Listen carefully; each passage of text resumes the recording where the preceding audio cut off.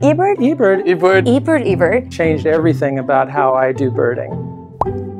I tell people it's an online database, a repository for bird sightings from around the world. It's all free uh, and open access. I like the fact that I can have all the birds from our different travels in one place. It allows me to, to have my life list. And it's just an, an amazing thing, not just for bird nerds like myself, but anybody. Anyone can use eBird. Everyone is capable. I like to contribute to uh, science. It'll give us better insights about our own birds in our own backyard. Anybody can contribute and it has value. So for me, it's perfect. Just go for it.